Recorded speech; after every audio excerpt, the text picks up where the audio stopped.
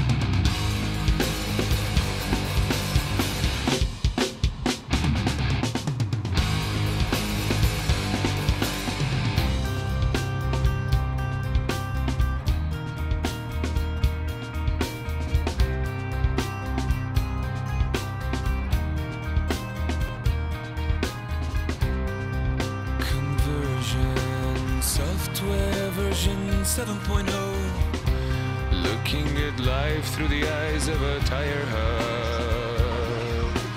Eating seeds as a pastime activity. The toxicity of our city, of our city